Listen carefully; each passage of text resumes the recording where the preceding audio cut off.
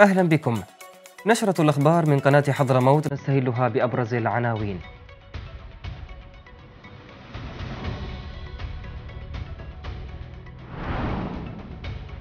رئيس مجلس القيادة الرئاسي يجتمع باللجنة الأمنية العليا ويستقبل سفراء الاتحاد الأوروبي. عضو مجلس القيادة الرئاسي فرج البحسني يرأس اجتماعا للجنة الأمنية بحضرموت ويتفقد عددا من الإدارات. رئيس الوزراء يناقش في عدن مع وفد برنامج الأغذية العالمي دعم الإصلاحات الاقتصادية للحكومة. والعملة الوطنية تتراجع لأدنى مستوى لها منذ تشكيل مجلس القيادة الرئاسي.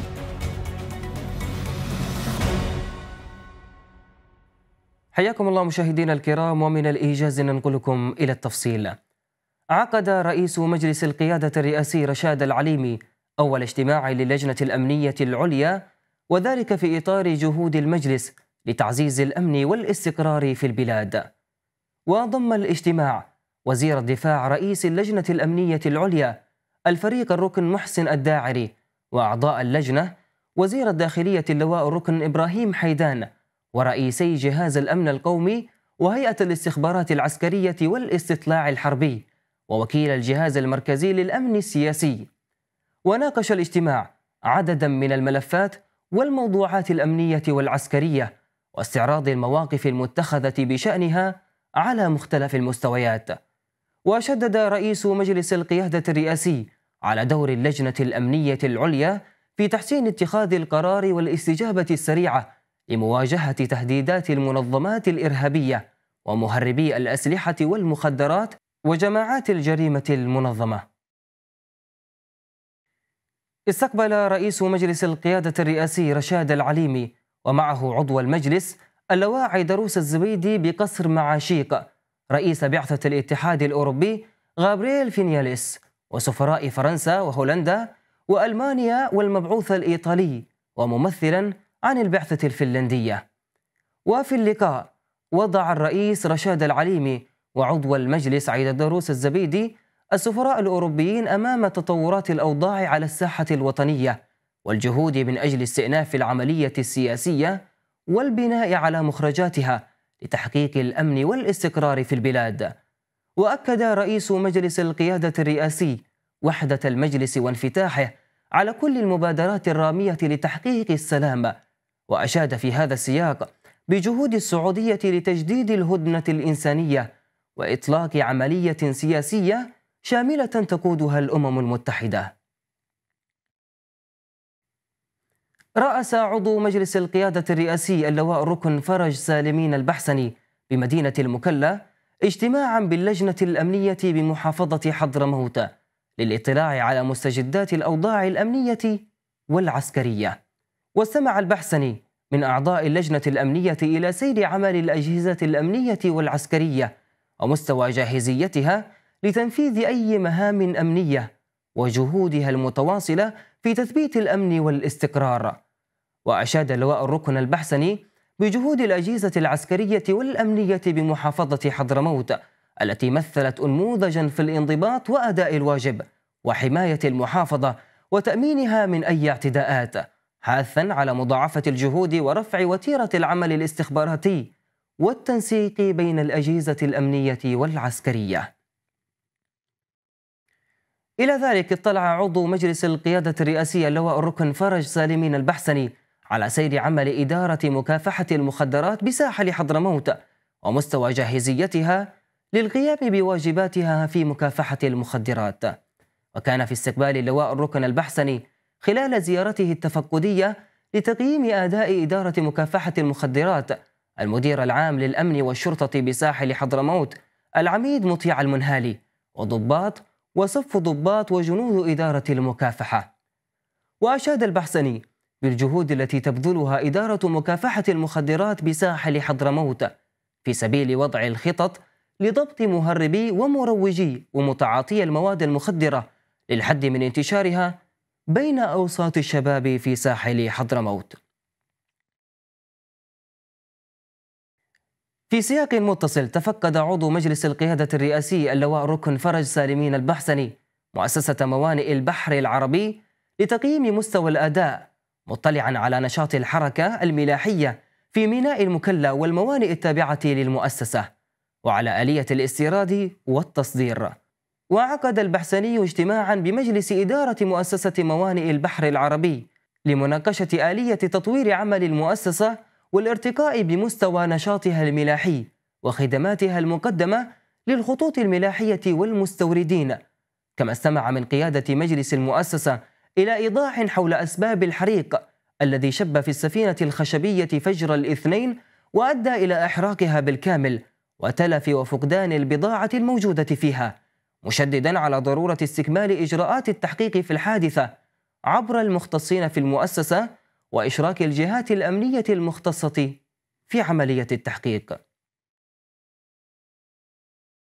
أكد رئيس الوزراء معين عبد الملك أن دعم الحكومة في الحفاظ على الاستقرار الاقتصادي مدخل أساسي ومستدام لمعالجة وتخفيف المعاناة الإنسانية التي تسببت بها ميليشيا الحوثي. وأوضح رئيس الوزراء لدى استقباله في عدن وفد برنامج الأغذية العالمي التابع للأمم المتحدة برئاسة المديرة الإقليمية للبرنامج في منطقة الشرق الأوسط وشمال أفريقيا كورين فليتشر أن الإصلاحات الاقتصادية التي تنفذها الحكومة سيكون لها الأثر البالغ في تحقيق الاستقرار الاقتصادي والسيطرة على التضخم وسعر صرف العملة الوطنية وبالتالي تحسين الوضع الإنساني. كما تم مناقشة خطط التركيز على أهمية دعم الاقتصاد اليمني كجزء محوري لمعالجة الأزمة الإنسانية. إضافة إلى مستوى تنفيذ الآليات المتفق عليها بين الحكومة والبرنامج لضمان وصول المساعدات إلى مستحقيها. سجلت العملة الوطنية تراجعا لأدنى مستوى في قيمتها منذ تشكيل مجلس القيادة الرئاسي في أبريل من العام الماضي في ظل تذبذب معهود منذ اندلاع الحرب في البلاد. وسجل الريال تراجعا متواصلا منذ أيام حيث وصل سعر الدولار الواحد إلى 1300 ريال في محلات الصرافة بالمحافظات المحررة. وبحسب مراقبين فإن التراجع الجديد يأتي بسبب شح العملة الأجنبية في السوق. ويشكو مواطنون من التقلبات المستمرة لقيمة الريال وما يسببه ذلك من أضرار مباشرة على حياتهم اليومية وما يتبعه من تأثير على أسعار السلع والخدمات. مطالبين بضبط أسعار الصرف وإيقاف التدهور الجديد للعملة. التقى وزير الخارجية الدكتور أحمد بن مبارك بالمنسق المقيم للشؤون الإنسانية في اليمن ديفيد جيرسلي. وبحث معه التقدم المحرز في تنفيذ خطة الأمم المتحدة لمعالجة قضية خزان صافر. وثمن بن مبارك الجهود التي يبذلها جيرسلي في هذا الصدد والتفاعل الدولي مع دعوات الحكومة اليمنية والأمم المتحدة لتجنب كارثة بيئية محتملة لها تداعيات إنسانية واقتصادية خطيرة. كما بحث الجانبان أهمية مضاعفة الجهود وحشد الموارد للتعامل مع قضيتي النزوح الداخلي ونزع الألغام.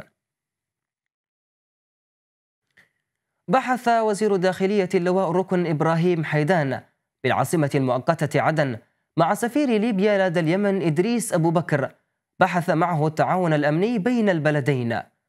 وأكد وزير الداخلية حرص الحكومة اليمنية على تقديم جميع سبل الرعاية والاهتمام للأشقاء الليبيين المقيمين في اليمن.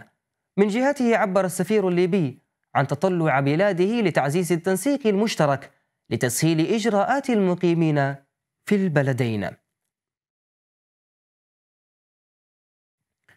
ناقش وزير المياه والبيئة المهندس توفيق الشرجبي بعدن مع قيادة المؤسسة المحلية للمياه والصرف الصحي بوادي وصحراء حضرموت. الوضع الحالي لمشروع الصرف الصحي لمدينتي سيئون وتريم. كما اطلع الوزير الشرجبي خلال اللقاء على العراقيل التي تواجه استكمال المشروع مؤكدا أن الوزارة ستقدم الدعم الكامل للمؤسسة من أجل تحسين البنية التحتية لمنظومة المياه والصرف الصحي ناقش اجتماع عقد في العاصمة المؤقتة عدن برئاسة وكيل وزارة الداخلية لقطاع الأمن والشرطة اللواء الركن محمد الأمير. عددا من القضايا ذات الصلة بمكافحة جرائم غسل الأموال وتمويل الإرهاب.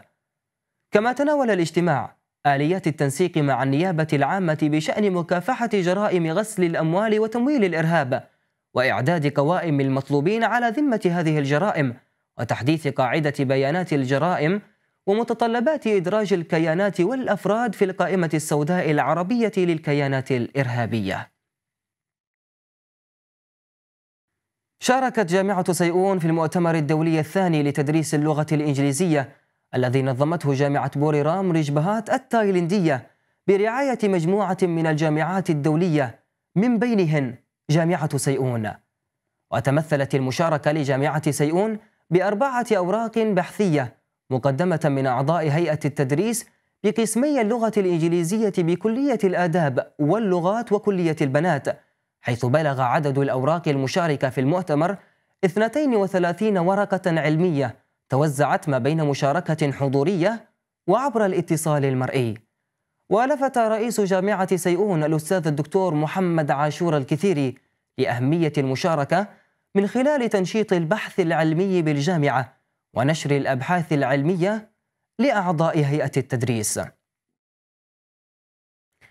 أقام مركز حضرموت للدراسات التاريخية والتوثيق والنشر بكلية التربية بجامعة حضرموت فعالية ثقافية بعنوان تطور الوعي الوطني في حضرموت والتي رعاها صندوق التراث والتنمية الثقافية بالمحافظة.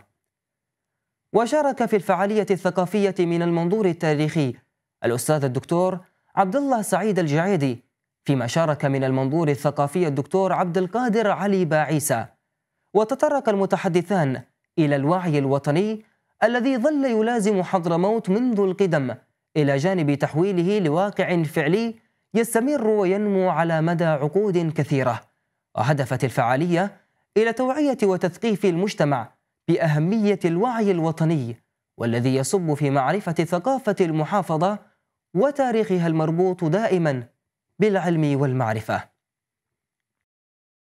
آه، إحنا قمنا بتمويل هذه الفعالية آه، لاستشعار بأهمية آه، هذا الطرح وهذا العنوان بالذات وهذا الموضوع لمناقشته في ظل هذه الأوضاع السياسية التي تشهدها حضرموت وتوافقا مع المشهد السياسي اللي الحاصل في حضرموت وفي الوطن بشكل عام.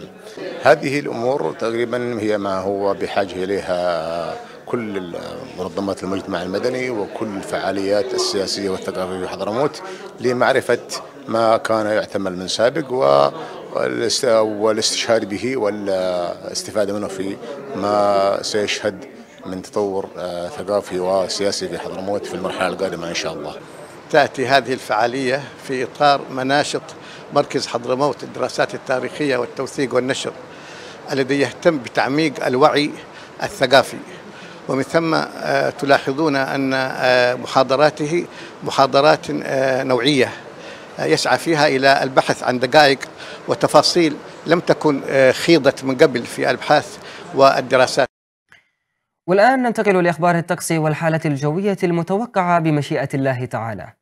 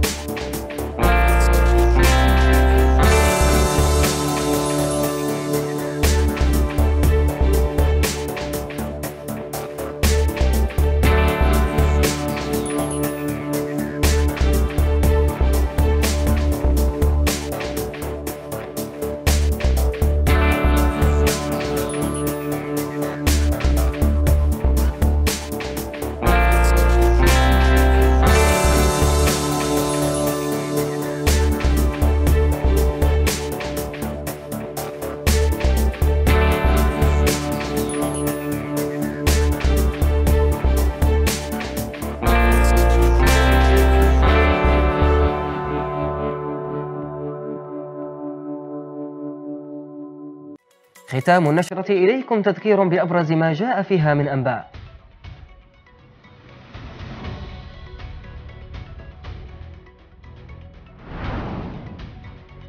رئيس مجلس القيادة الرئاسي يجتمع باللجنة الأمنية العليا ويستقبل سفراء الاتحاد الأوروبي. عضو مجلس القيادة الرئاسي فرج البحسني يرأس اجتماعا للجنة الأمنية بحضرموت ويتفقد عددا من الإدارات. رئيس الوزراء يناقش في عدن مع وفد برنامج الأغذية العالمي دعم الإصلاحات الاقتصادية للحكومة. والعملة الوطنية تتراجع لأدنى مستوى لها منذ تشكيل مجلس القيادة الرئاسي.